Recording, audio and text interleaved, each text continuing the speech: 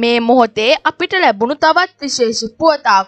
ගොඩක වෙල සෞඛ්‍ය වෛද්‍ය නිලධාරී කොට්ටාසේ පුද්ගලයින් දෙසේ විසි පහකට සිදු කරන ලද PCR පරීක්ෂණ වලින් අනූ දෙනෙකුට වෛරසය ආසාධනය වී ඇතැයි තහවුරු වේ.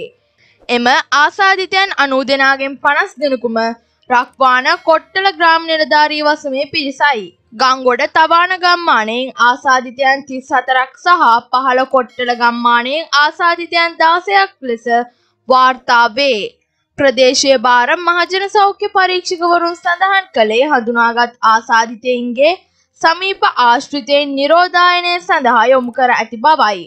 කොට්ටල ග්‍රාම නිලධාරී වසම හුදකලා තත්ත්වයට පත් කිරීමටද සෞඛ්‍ය බලධාරීන් පියවරගෙන ඇත.